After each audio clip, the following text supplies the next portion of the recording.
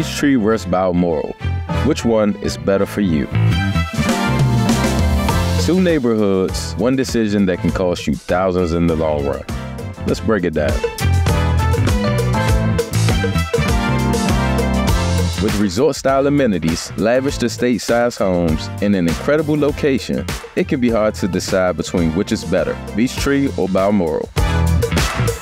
Every time I post a YouTube video, I always see somebody posting something about Beech Tree. So today, we're going to review Beech Tree and Balmoral. We're going to talk about the key differences between the two, even though they're so similar, and we're going to figure out which one is right for you.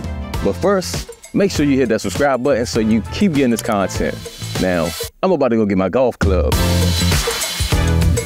First, location. Location wise, both of these neighborhoods are very similar. They're connected communities and right next to each other. Beech Tree is just larger with more homes, while Balmoral is smaller, intimate, and private.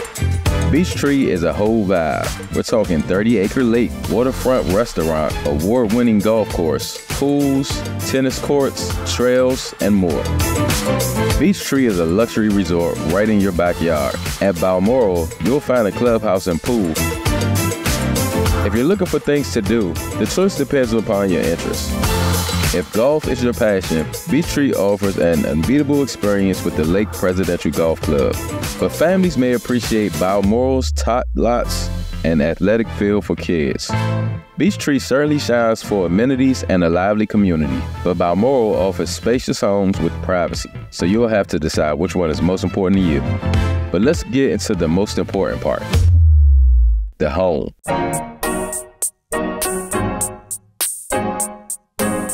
So if you're investing in PG County, you want to make sure you're investing your hard-earned money right. So it's Beech Tree or Balmoral giving you more bang for your buck.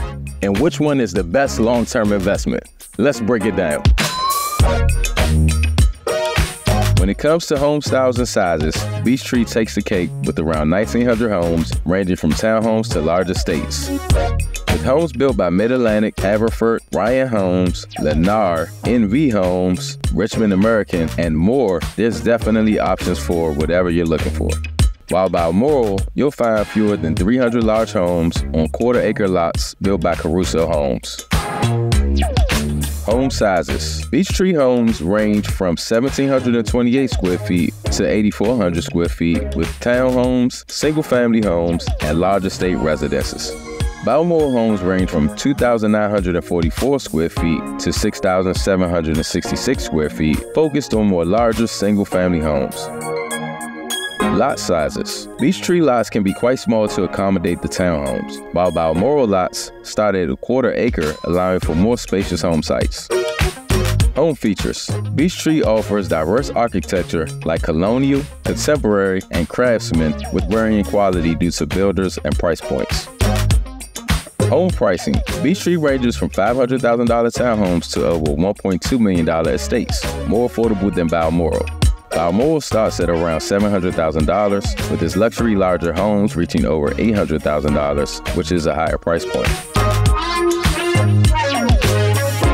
So which one is a better value? Beech Tree's wide appeal and amenities may make it appreciate faster long term but Balmoral spacious lots and private setting will hold value and the smaller size community may limit demand.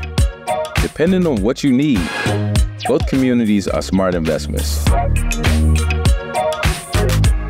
So if you're curious about Upper Marlboro neighborhoods and you want more local insight that you won't find online, make sure you download my Upper Marlboro guide in the description below. You'll have all the information you need to make a decision on where you should move.